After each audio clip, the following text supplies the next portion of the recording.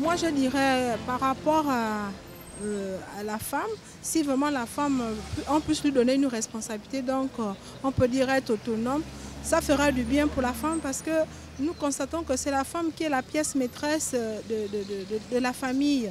Et au jour d'aujourd'hui, nous avons constaté que beaucoup de femmes ont plus de responsabilités sur les enfants. L'homme abandonne de fois la, femme avec les enfants par des, le cause de jalousie. Et au jour d'aujourd'hui, si la femme est autonome, ça fera du bien. la prostitution, moi je constate qu'il y a beaucoup de femmes qui se livrent à eux-mêmes, c'est parce qu'ils ne sont pas autonomes, elles n'ont pas d'emploi, elles n'ont rien.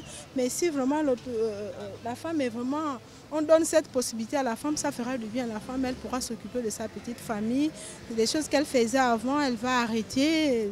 L'escroquerie, tout ça là, ça, c'est parce que la femme est délaissée. Le cas des femmes gabonaises, elles comptent trop sur l'homme, tout c'est l'homme, le gars c'est l'homme, tout, tout, tout, tout. Or, la femme euh, euh, étrangère, euh, je peux dire femme sénégalaise, malienne, ce sont des femmes qui sont autonomes, c'est depuis l'enfance. Donc nous voulons aussi, il faudra que nous puissions avoir un regard de ces, de ces gens de femmes, des femmes sénégalaises, maliennes.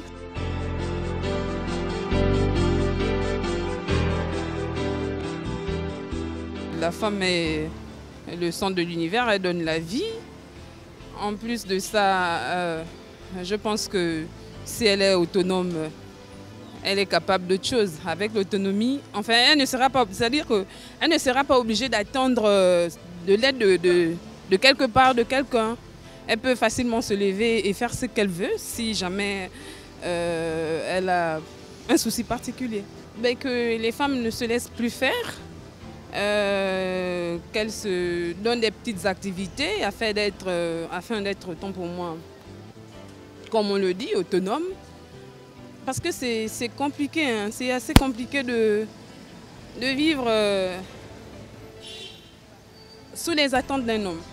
C'est très compliqué en ce moment. Déjà que même euh, chez les hommes, ça ne va pas. Pire encore chez les femmes, quand elles n'ont pas d'activité, c'est difficile de joindre les deux bouts.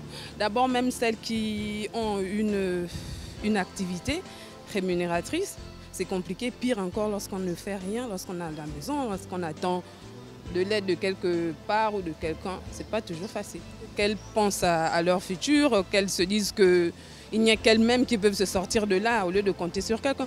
Ben, je vois partout dans, les, coins de la rue, surtout dans les quartiers, des jeunes filles qui se donnent à des activités comme euh, euh, la manicure, des petits commerces. On va voir sur euh, euh, dehors, euh, enfin dans les cours des maisons, les gens qui vendent des fruits, des tomates, des bois de...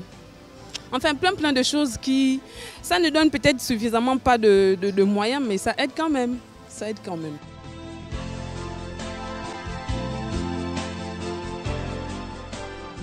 La femme est déjà au centre de beaucoup de points dans le monde. Parce qu'à l'époque, on ne trouvait pas une femme présidente. On ne trouvait pas des femmes ministres, mais aujourd'hui, on en trouve. Les femmes font maintenant ce qu'elles ne faisaient pas à l'époque. Ce que les femmes ne faisaient pas à l'époque, maintenant, les femmes le font.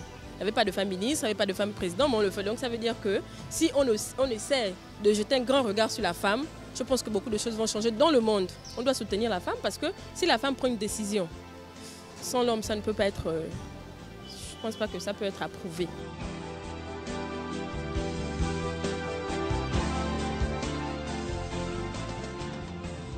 Lorsque la femme n'est pas autonome, elle attend tout de son mari, elle attend tout de quelqu'un. Et là, on, voit que les tâches ne sont pas équilibrées, les parts ne sont pas équilibrées parce que la femme sera toujours à la maison en train d'attendre ce que l'homme va rapporter. Et on voit que parfois, il y a certains hommes qui ne s'occupent pas forcément bien de leur femme à la maison et ce qui fait un déséquilibre dans le foyer ou encore dans euh, la nation ou encore dans une capitale.